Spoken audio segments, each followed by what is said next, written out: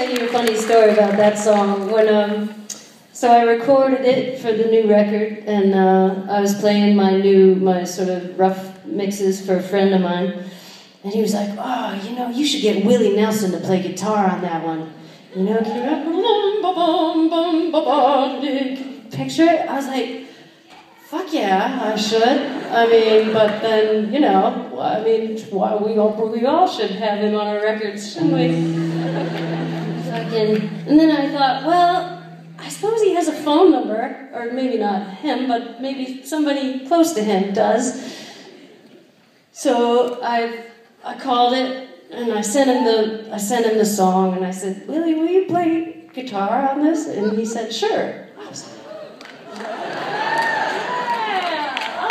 And then he was coming through New Orleans and playing at the House of Blues, so I thought I'd go down and make his acquaintance, you know, since he agreed to do this thing for me. And so I spent all day making red beans and rice and cornbread, and I got a couple bottles of wine. I thought, you know, I'd make him a, a New Orleans home cooked dinner, which is kind of cruel actually when you're traveling on a bus. You should really not make beans for people on buses. That's actually, I don't know what I was thinking. But anyway, so I fucking show up with my, my you know, I'm like, and you know, there's this bus outside the venue, and I thought, oh, I don't want to bother him before the show. You know, I'll just, I'll, I'll just fucking tote my beans and run my like, stick of butter in my cornbread and just like, hang out, watch the show. And it was an awesome show, of course, him being fucking awesome in every way. And uh, and then after the show, I'm like, oh, I don't want to bother him. You know, I'll just wait. You know, wow, give me a minute. You know. And I'm like going out with all my stuff, and there goes the bus. I was like, ah! Damn it! now I want to bother him. God, can I? Okay, well, so I never did meet him, and then he ended up not not kind of getting around to playing on the track. Stoner. So, so the story has a non-ending. Someday, someday I will make his acquaintance beans or no beans, guitar overdub or no. And I would be happy nonetheless. So I actually didn't put, there's nothing in the whole instrumental break in the middle of the song, there's nothing but a, but a big space where, where Willie would be. There's a big, so now if you ever hear this recording, I want you to picture the mirage of Willie. Here's the last song on that new record.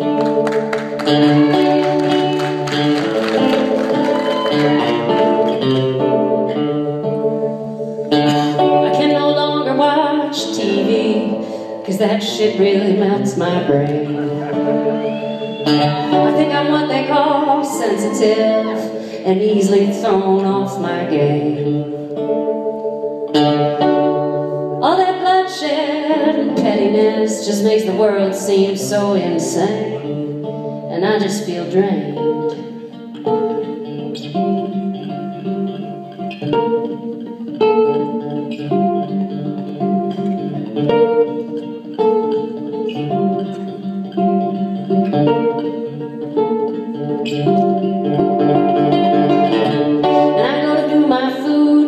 And all I can see is the packaging.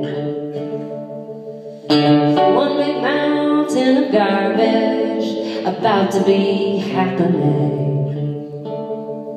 And I walk past my own self-loathing like I walk past animals in the zoo.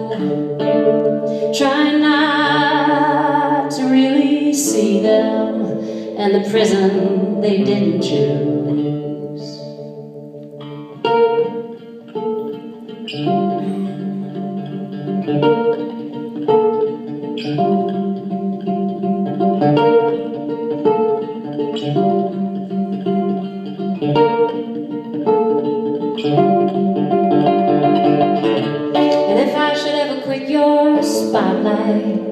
Hope you won't think me wrong Says the poet to the moonlight Says the singer to the song. It's enough just to stay upright, upright in every single way, and pour your love into your children until there's nothing left to say. Pour your love into your children until there's nothing left to say.